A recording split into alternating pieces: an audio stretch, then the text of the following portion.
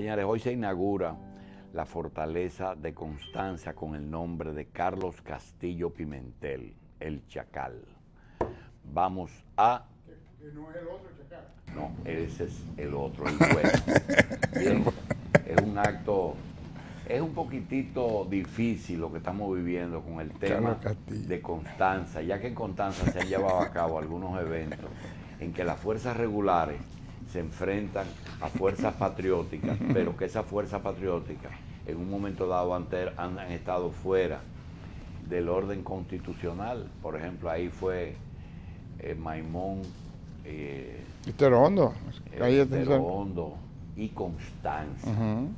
Ahí no hay duda, pero en un momento dado se hicieron algunos actos de reconocimiento a los militares regulares que terminaron con la vida de los héroes. Ahora hay algunos que están opinando en contra de esa, esa, eh, ese nombre porque eh, el, el general Castillo participó en la lucha en el 73 contra las invasiones de Camaño, la invasión de Camaño. Pudo Pero- haberse, pudo haberse llamado Juan de Dios Ventura también, doctor. También. El nombre del piloto que tiró ese avión ahí. es el problema de cuando ocurren esas cosas, ¿verdad?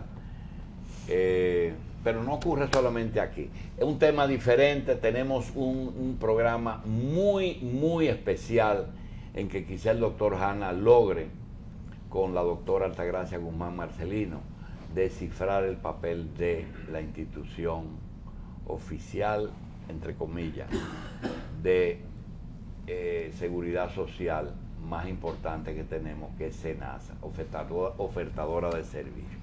Pero vamos a dejar que eso lo hablen nuestros invitados. Le damos eh, la bienvenida al doctor Alcántara, Fafán. al doctor Yo quería, yo eh, quería que me, yo quería que me iba a y a la olvidar. doctora Guzmán Mira, Marcelino. Julio, Senasa nace apenas unos días.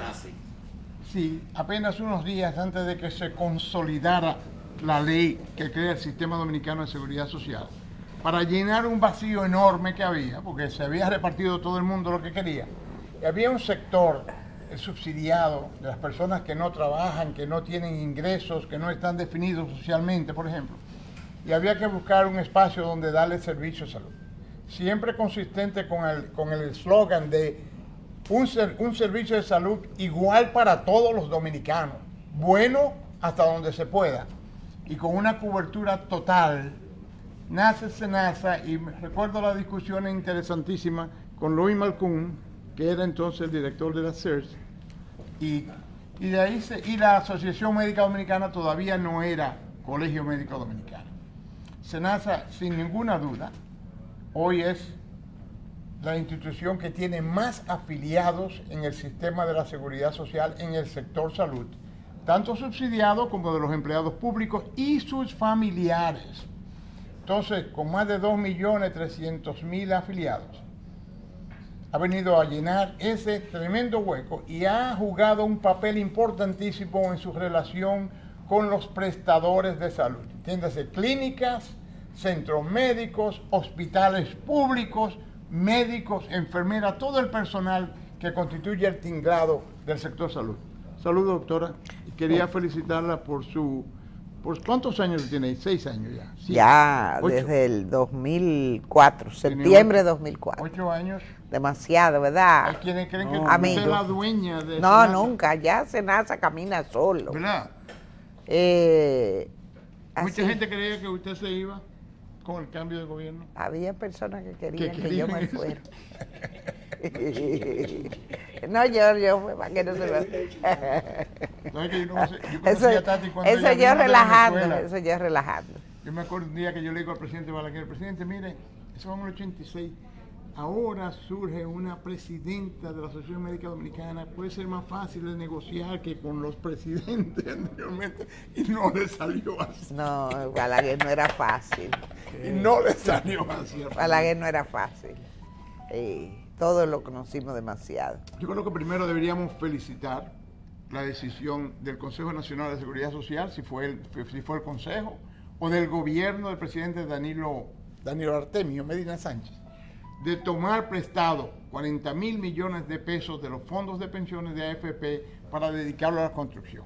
Eso no es nada nuevo. El 60% de las construcciones en México y en Chile se hicieron con esos fondos, se respetaron los fondos, se le prestan a bancos y los bancos negocian entonces con los emprendedores y los constructores y se le paga sus intereses. Sí. A largo plazo, a 15, a 20 años, lo que sea. Pero es mejor pero eso ese dinero está... Ahora es mejor yo, eso que un dinero eh, que no está... yo escuchaba anoche, eh, bueno, ante todo saludarles a todos. Eh, yo escuchaba anoche un programa, no recuerdo. Primero ese no es mi tema, ni siquiera. Mi tema no es pensión, mi tema no es vivienda y mi tema no es sector financiero. Ahora bien, Lo que pasa es que hay gente que cree que seguridad social es solamente es solo a, salud. Y así eso es otro error, ¿eh? No, te digo por lo que, por la opinión Sí, sí, que sí, voy a emitir. Eh, tú mencionaste a los bancos y escuchaba anoche a un periodista eh, donde decía que hay que regular a esos bancos para que no vayan a matar esa gallinita de huevo de oro para que sectores de clase media, media y media baja tengan acceso a la vivienda, porque ahí se perdería toda la decisión. Yo eso fue lo que escuché de un periodista. No Aquí, sé. aquí siempre hay temor de que el, manejo del dinero eh, de todos, del Estado, básicamente, a veces no se hace con mucha pulcritud. No, no, no es, no es asunto de pulcritud, Franfán, es que llegue a los bancos y los bancos le pongan unas altas tasas. Entonces, esos Eso no- trabajadores, eso no esa pul- clase media, Ahí no hay pulcritud. media media y media baja, No pueden pagar ese financiamiento. no, entonces, entonces, explícame, tú qué sabes de eso, ¿Tú sabes Max? qué pasa, Tati? Que ya uno no sabe quién es clase media aquí, quién es clase, clase media alta, y hasta a veces se confunde con la clase alta. El costo de, la- bueno, lo que tú estás viendo, salario fijo por 5 o 6 años. Mira, todos los que estamos aquí, excepto tú, somos clase media media. Yo soy media baja. Tú eres media alta. Lo maté. Oye, pero exprésalo, llégalo, llégalo. Y eso que no sabe de sociología ni de finanzas ni nada de eso. Yo no sé el doctor Madera que anda Tati, por allá. Tati, ¿cómo es posible? ¿Cómo es posible, Tati, manejar 2.300.000 afiliados a una institución que funcione bien? Los So- médicos, yo soy testigo, los médicos están contentos con Senasa por la regularidad con que reciben sus honorarios. Mira, eh, en el subsidiado tenemos 2 millones 230 mil. Es posible que al día de ayer, porque regresé ayer, ya ese número haya subido. Y en el contributivo tenemos más de 450 mil y tenemos 10 mil 50 pensionados y jubilados del Ministerio de Hacienda. O sea que nosotros redondeamos los 3 millones, casi. 2 millones 800 Porque al SENASA le tocan los pensionados. una parte, eh, pensionados de Hacienda. antes de la ley, los de Hacienda, porque el IDCS le toca a aquellos empleados privados que, estaban, al CENMA los maestros y a SENASA el resto. Eh, o sea que nos dividimos en la- entre las tres ARS. La administración de riesgo de esos pensionados y jubilados, que no hay tal administración de riesgo. Hubo un poquito de ya- problemas a finales del año, del año eh, electivo, eh, marzo, abril y mayo. Parece que cayó un poco la recaudación de Senasa, pero da la impresión de que eso se ha recuperado y que el gobierno Mi- ha vuelto. Mira, eh, el subsidiado, tú recuerdas que la cápita que se aprobó en el 2002 fue 181 pesos con 37 centavos, Mucho menos que en el contributivo, que son que son 700. 788. Sí, señor. Una quinta. parte, una Entonces, eh, eh, lo que estamos recibiendo con relación a aquella vez son 67 pesos por cada afiliado. O sea que realmente eh, nos estamos manejando con limitaciones, aunque eh, recuerda que en el, en el presupuesto, no, en el presupuesto complementario de este año entró a Senasa en julio en 500 millones de pesos. Unos chelitos te pusieron. No, chelito, porque te cubre déficit y te cubre déficit y tú agilizas pagos. Eso tú lo manejas muy bien. Eh, los pensionados indudablemente que tú sabes que pensionado y jubilado eh, hay una alta carga de enfermedad y es un índice de siniestralidad enorme, un, un índice de siniestralidad altísimo. Nos manejamos porque viejo muy enfermo de alto, eh, de alto costo. Y por otro lado, el, lo- el CAMAT, o sea, accidentes de tránsito. Fíjate que se nace en el contributivo. accidente de tránsito desde y hacia el trabajo, no cualquier no, accidente de tránsito. no, eh, eh, ese desde y hacia el trabajo es de la ARL, de la Administradora de Riesgo laboral. Ahora, el otro accidente de tránsito, aunque ahora estamos, a propósito de, de tu observación, por eh, lo que te voy a decir, el 75%, 72, 75% de los afiliados de SENASA titulares de régimen contributivo ganan menos de 15 mil pesos. Sí. ¿Qué te quiere decir? Que nosotros tenemos una alta carga de enfermedad porque son trabajadores pobres. Y dentro de esos trabajadores pobres, indudablemente que están los mensajeros. Pero con un Que son rico, que el gobierno. Sí, Se por Se eso accidentan mucho. Eh, hay muchos accidentes. de. Entonces, el- estamos vigilando, estamos haciendo o hicimos unos ajustes en el sistema porque la siniestralidad es demasiado alta. De todas maneras, SENASA, y ahí tiene que estar el Estado, eh, en el régimen contributivo eh, decimos que el mercado, entre comillas, que los economistas llaman el cuasi mercado de la salud, eh, Senasa tiene una alta siniestralidad porque tiene una carga de, primero, personas, ya te decía, les decía que el 72% gana menos de 15 mil pesos. Somos la ARS que tenemos más adicionales, Las familias, familiares. no padres y madres, son los bajo- bajo el adicionales, mismo techo. que eh, los hijos le afilian. Sí. Eh, y somos las ARS que tenemos el mayor porcentaje de mujeres, o sea, pobres, mujeres en edad fértil y Eso es bueno. adicionales. Eso es bueno, mujeres en edad fértil, son mujeres sanas. Son sanas, pero tiene, tú tienes El los embarazos y ahora con la, el el asunto embarazo de no la... es una enfermedad ni una No, pero la cesárea, tú... Sé, ese tema... Ahora un 80% de los partos son cesáreas. Ah, entonces, eh, ahí eh, SENASA se está manejando en el contributo, en el subsidiado de todo hueso, y ese es nuestro deber, Y del el deber del Estado, Claro. porque nosotros somos la herencia del Estado. Claro. Los pensionados y jubilados, el Consejo Nacional de la Seguridad Social no, eh, diríamos, no discutió una propuesta de que esos pensionados jubilados del Ministerio de Hacienda fuesen redistribuidos entre todas las ARS. Hace mucho tiempo que el Consejo de, Bueno. la Seguridad Social no sesiona. Y por otro no lado, manejamos en el régimen contributivo una cartera de afiliados descremada. ¿Qué quiere decir? Esos datos que te decía. En conclusión, en entes de administración de riesgo de salud hay que manejar hueso y masa, Sí, sí.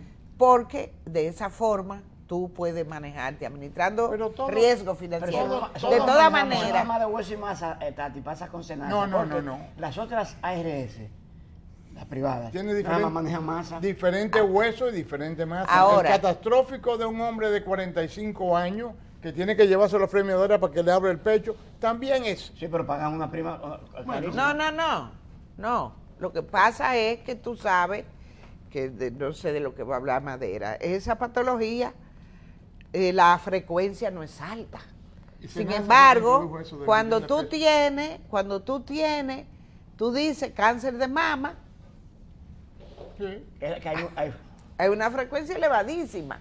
Entonces tú tienes una población pobre que no tiene la formación de que hay que hacerse una mamografía anual. Tú ves, cuando tú tienes cáncer de cuello uterino no van a, a hacerse el, el papá Nicolau. otro día había una señora que está, que ella trabaja y gana 5 mil pesos y el, el, el marido está pensionado con 10 mil, tiene cáncer de mama a los 68 y el septín cuesta 92 mil pesos cada mes y lo cubre Senasa. Ah, sí. ¿Mm?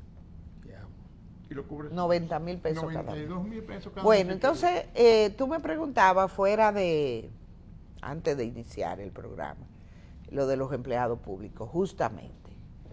Cuando se concibió en la discusión de la ley, Sí, el legislador concibió, ya tenía la experiencia, ya venía la experiencia de Chile con el FONASA. Sí.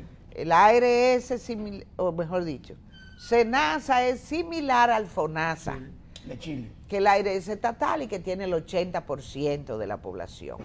Entonces, cuando se concibe SENASA como ARS de- del Estado, lo que tú decías, el Estado es responsable de administrar los riesgos de esa población pobre, el régimen subsidiado. Claro.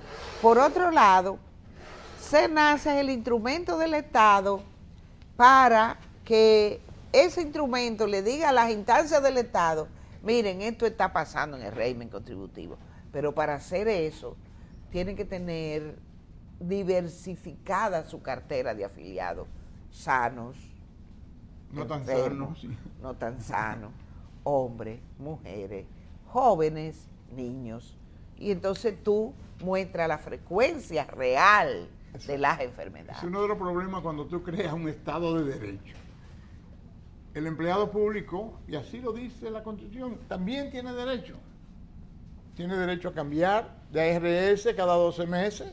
Senasa capta una gran cantidad, pierde, Pierde otra- cantidad. Pero eso Sí. le pasa a todas las ARS, Sí. no a Senasa sola. Pero eh, la ley El 10% de la población de ARS se mueve todos los se meses. mueve. Ahora, eh, Hanna, la ley, el legislador concibe a todos los empleados públicos en Senasa, la ley, no ni tú ni yo, Era la del ley. seguro. ¿Eh? Era del seguro social inicialmente. Era- la primera ley. Ah, bueno. Entonces, eh, la Suprema llega a un recurso, la Suprema estudia y realmente su veredicto es que debe cumplirse el artículo 31 de la ley. Y en virtud de eso, la, la CISARRIL emite una resolución producto de, del veredicto de la Suprema y en enero todos los empleados públicos deben venir a Senasa. Ahora bien, hay empleados públicos que pueden comprar un complementario, eso que tú decías, Fanfan. Que no cuesta mucho dinero tampoco. ¿eh? que tampoco mensual. No. Por ejemplo, eh, Hanna está con nosotros y quiere comprar un complementario. Bueno, yo si me voy a operar la nariz, un ejemplo, Yo tengo. porque tengo un pol no, Ah, la, anestesia no, ¿cómo es la estética no está incluido? Que tenga desviación. Pero la anestesia sí. No, pero ya es parte de eso. Si quiere operar, la- no tiene chance tiene un pólipo, no, Tati, no. Fafá no tiene chance ahí. No, la estética no, la estética no está en el plan, pero que tiene un pólipo y hay que operarle, es patológico. Entonces, pero quiere estar en una suite para cuando Machi vaya a visitarlo, lo vea que él es un bueno, porque ese es su estatus, entonces le vamos a vender una suite. Plan complementario, si tú quieres eh, odonto- servicio odontológico, otro complementario.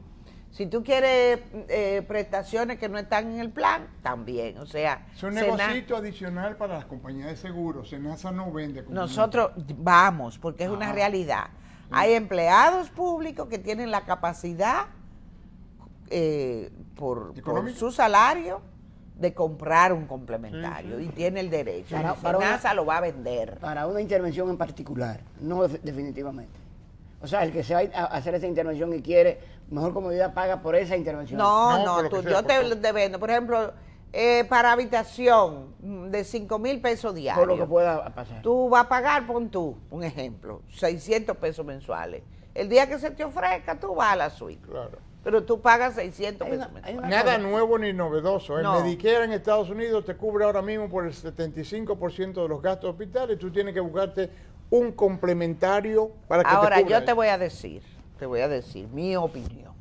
Y yo, eso lo he dicho en, en varios escenarios de manera informal y aquí lo voy a decir. Alta Gracia Guzmán opina que el Estado es responsable de brindar ese plan básico, El básico. el básico, el que estamos garantizando, ¿no? Pero el, el- el le PDS, no, la CISARRIL, Plan de Servicio de Salud. Ese plan, y que ese plan se actualice. Claro. eh, eh, eh, le- hay la instancia correspondiente que le corresponde actualizar ese plan sobre la base de la cobertura, la frecuencia, cambios a propósito de la tecnología, por ejemplo, en el plan de servicio de salud para corregir cataratas, lo que está es lo que el profesor Aude fue mi, profe- mi profesor de oftalmología, ¿te acuerdas? En el Padre Villini. ¿Qué cubre eso? La ¿Tú te acuerdas? ¿no? Te cubre la, la que se abre la córnea. Sí, ya, Entonces no- no puede Ya ser. eso no se hace. Ahora es la faco, emul, faco Emulsión. emulsificación.